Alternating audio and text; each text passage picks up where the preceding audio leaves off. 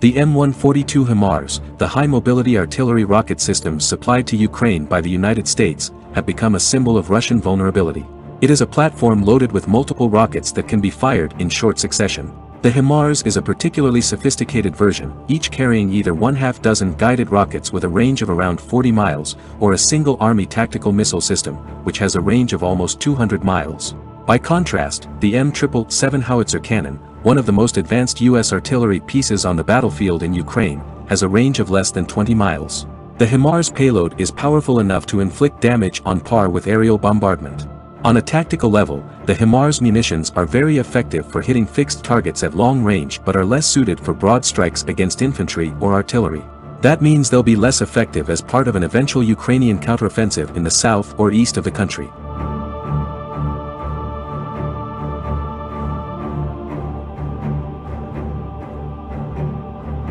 HIMARS' relation to other rocket-based systems is like what laser-guided bombs have with older air-drop unguided gravity bombs. Other rocket-based systems are area weapons that usually required large amounts of rockets to be fired to cause damage while in the case of HIMARS its guidance makes it a deadly system. Previous rocket launcher systems were known for being destructive but also crude and inaccurate. The biggest technical leap in recent years has been the development of precision-guided rockets, which use GPS tracking to hit specific targets at great distances. Even in real-time scenarios a small UAV can provide coordinates to this system and cause huge losses to an adversary.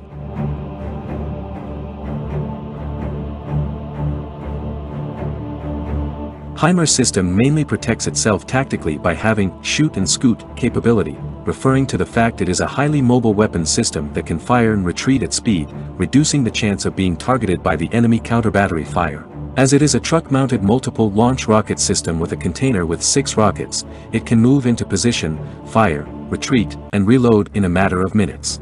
Another defensive measure that has mainly emerged recently is the use of dummies and inflatable decoys to deceive the Russian attack and reconnaissance assets. These measures greatly reduce the capability of Russian systems to precisely locate and destroy HIMARS batteries in the war zone theater. In recent clashes, several Russian bases and warehouses were attacked in the Kherson region by HIMARS batteries. Its main objective is to knock out the Russian forces' supply chain by carrying out strikes on key passing routes including bridges, railway stations, and ammunition depots.